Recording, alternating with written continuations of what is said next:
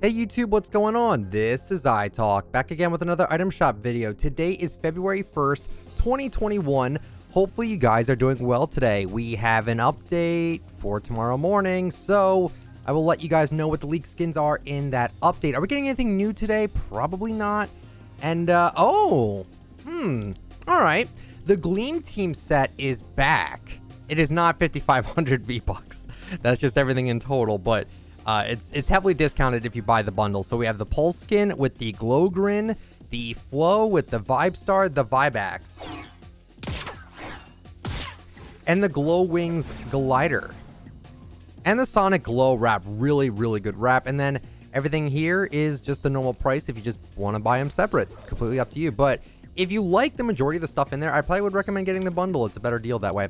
Okay, so uh, Hush is back with the Backbling Black Stripe, the Silent Strike.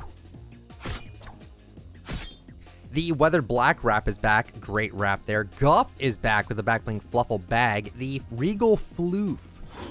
I feel like I always have to, like, say the name of that very slowly because of just how amazing it is. Whiteout's back with the Backbling Ignition. Uh, Double Cross is back with the Backbling Floral Shell. The Spectral Axe.